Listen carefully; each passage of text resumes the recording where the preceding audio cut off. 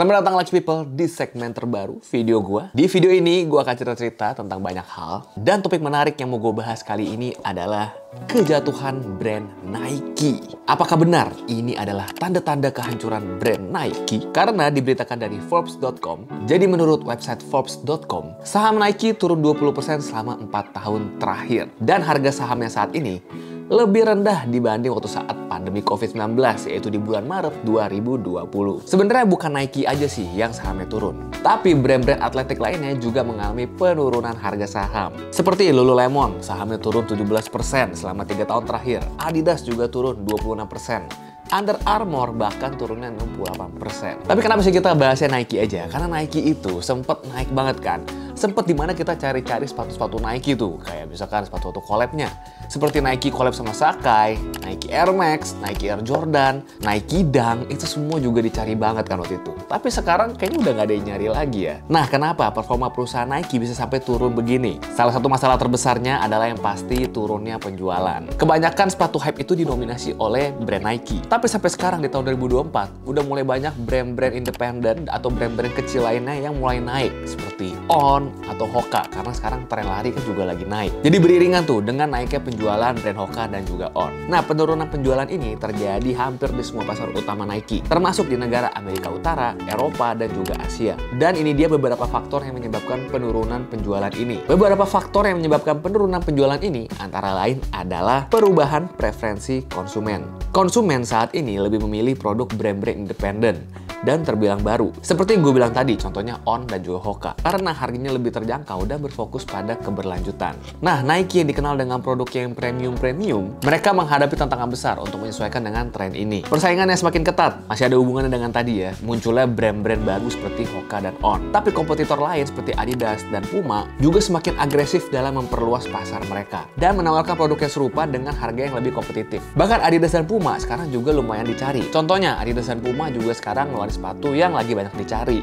seperti Adidas Samba, Gazelle, dan untuk Puma ada juga Speedcat dan juga Palermo. Krisis ekonomi global juga menjadi salah satu faktor ya, penurunan performa dari Nike. Inflasi dan ketidakpastian ekonomi global juga berdampak pada daya beli konsumen. Jadi banyak konsumen tuh yang menahan duitnya untuk beli sepatu. Jadi banyak orang berpikir daripada gue beli sepatu, mendingan gue simpen atau beli hal yang lebih esensial untuk kehidupan sehari-hari. Selain penurunan penjualan, mereka juga punya masalah internal. Masalah internal juga memperburuk performa Nike di tahun ini. Pandemi COVID-19 yang berkepanjangan mengakibatkan gangguan serius pada supply chain global. Akhirnya produksi dan distribusi produk-produk Nike juga ikutan terhambat, yang berdampak pada ketersediaan produk di pasar. Yang kedua, pengurangan karyawan. Untuk mengurangi biaya operasional, Nike melakukan pemutusan hubungan kerja besar-besaran. Ada sekitar 740 karyawan yang mengalami PHK. Meskipun langkah ini diperlukan, hal ini juga menyebabkan penurunan moral karyawan dan berdampak negatif pada produktivitas. Yang ketiga, keputusan strategis yang kurang tepat. Beberapa keputusan strategis yang diambil oleh manajemen tidak berhasil mendongkrak penjualan. Misalnya, peluncuran produk-produk baru yang tidak sesuai dengan selera pasar. Dan merilis sepatu-sepatu yang sempat hype dengan banyak colorway dan tidak menjaga scarcity dari sepatu-sepatu tersebut. Sehingga orang tidak lagi memiliki rasa untuk memiliki sepatu tersebut. Nah, kalau misalkan dibiarin kayak gini terus, apa sih dampak jangka panjangnya? Dampak dari performa buruk Nike di tahun ini tidak hanya terasa dalam jangka pendek ya, tetapi juga bisa mempengaruhi masa depan perusahaannya nih. Ini dia beberapa dampak jangka panjang yang mungkin terjadi. Pertama, ada penurunan harga saham. Ini udah terjadi ya. Harga sahamnya turun banget kan si Nike ini. Jadi saham Nike ini mengalami penurunan yang signifikan akibat penurunan penjualan juga. Nah, ini bisa membuat investor kehilangan kepercayaan pada perusahaan dan beralih investasinya ke perusahaan lain. Yang kedua, ada kerugian merek. Jika Nike tidak segera mengambil tindakan untuk mengatasi masalah-masalah ini, citra brand mereka yang udah dibangun selama berpuluh-puluh tahun ini bisa terancam karena konsumen mulai beralih ke merek lain yang dianggap lebih relevan dan sesuai dengan kebutuhan mereka. Yang ketiga, strategi penyelamatan.